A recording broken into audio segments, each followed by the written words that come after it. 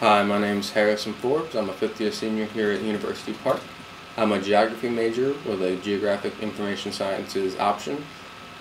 I got interested in this course after I completed an internship with Chesapeake Energy, and I just wanted to get more knowledge on the policy that kind of, that deals with the oil and gas and other energy industry. And I'm looking forward to working with you all this semester.